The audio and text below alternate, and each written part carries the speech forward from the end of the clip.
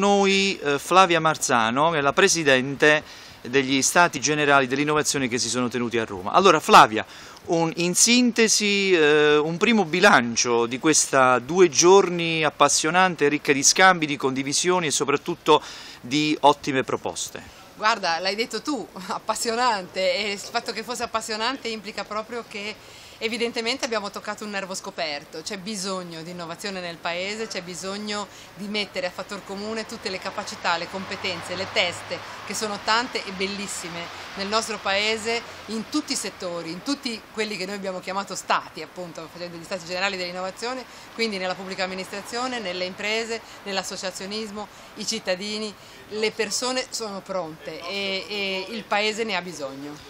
Flavia, questo è stato un appuntamento che, avete, eh, che si è caratterizzato per essere eh, apartitico e trasversale ai partiti. Qual è secondo te l'effettivo ruolo che la politica e i partiti italiani possono svolgere in questo contesto di cambio radicale?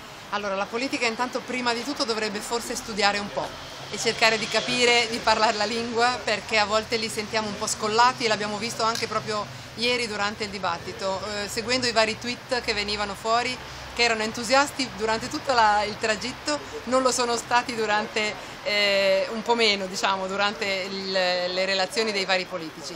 I politici sono però ovviamente la nostra sponda, noi siamo sicuramente multi-stakeholder e multi, multi-partisan se vogliamo dirlo, ma noi facciamo politica dell'innovazione, la politica dell'innovazione va condivisa e, e, elaborata insieme a tutte le forze politiche. Flavia, è ipotizzabile secondo te, come avanzato anche da parte della palestra della creatività e dell'innovazione, eh, creare una vera e propria classe dirigente, porre le basi per la nascita di una classe dirigente di innovatori che possano in un certo qual modo condurre la politica italiana al raggiungimento di obiettivi concreti?